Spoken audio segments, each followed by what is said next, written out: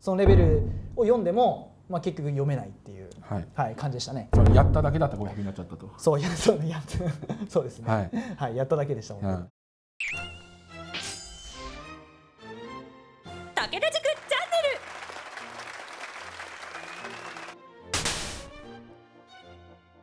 ル。いやーもう僕どっちかというと夏勉強できなかったタイプなんで、はい。もう9月からね。めっちゃ頑張りました、それこそもうね。台風の目になるぐらいのつもりで頑張ってほしいですよね。そうですね。吹き飛ばされないようにね逆にね。そうです。そう吹き飛ばされないように周りの受験生を吹き飛ばすぐらいでね、はい。やってほしいですね。はい。ね。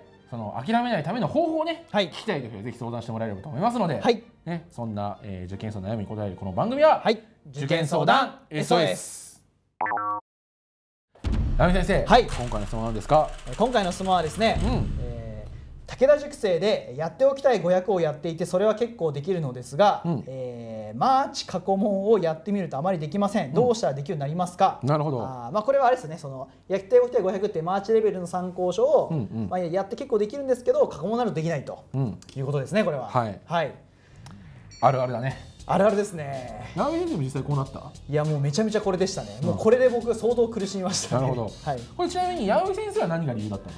えっと、僕の場合はその本当参考書をやっぱりただやっただけで、うん。本当になんていうか例えば500だったら、うん。その分からない英文とかがあっても、うん。まあ、なんとなく読み飛ばしてたりしたりとか、うんうん。でとりあえず丸付けして解説読んでやった気になったみたいな、はい、なので、まあ、結局その要は、まあ、やってる人は500って実際そのマーチレベルとか偏差値まあ60前後ぐらいの大学だと思うんですけど、そのレベルを読んでも、まあ、結局読めないっていう、はい。はい、感じでしたね。そのやっただけだったら500になっちゃったと。そうやそうやってそうですね、はい。はい、やっただけでした、本当にうん初め。だからこれはその、はい。要は読み方と解き方両方の強化が多分必要だと思うんですね。なんか難しい参考書やるとかじゃなくて、うん。今までの教材のやり込みっていう部分で、うん例えば読み方だったらもう本当に構文めっちゃ丁寧に取って、はい。和訳全部やってみる。実際書いてみるみたいうん。なのがあるし読解の方だったらやっぱリーズニング。うんうんなんで正解なの？どこに書いてあるの、うん。ね、その部分からなんで正解だって分かんのみたいな、うんうんそうですよね、うん。うん。うんその通り。いはい。や結構これはやっておきたい500以外でも例えばやっておきたい300だったりとか、うん。やっておきたい700で、まあ、それぞれ日大レベルだったりとか早期レベルが突破できないって人は、まあ、結構いると思うんですよね。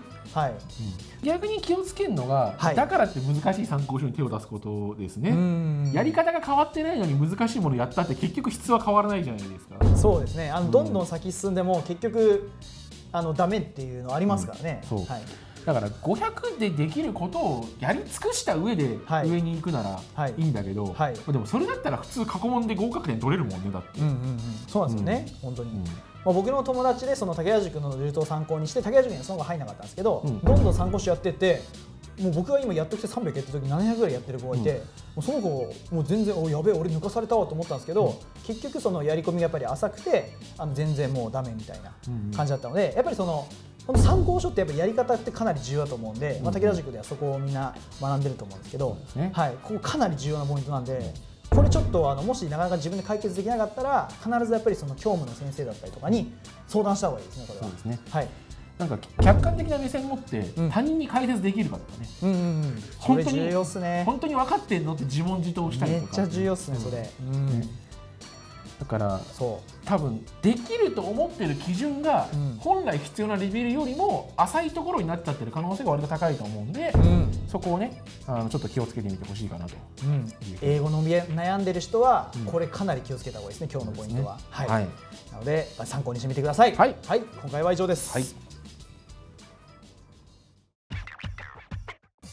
武田塾全国の校舎でえー受験相談、えーいつでも受け付けておりますえそうなんですか？やってるでしょ自分自身え有料ですか？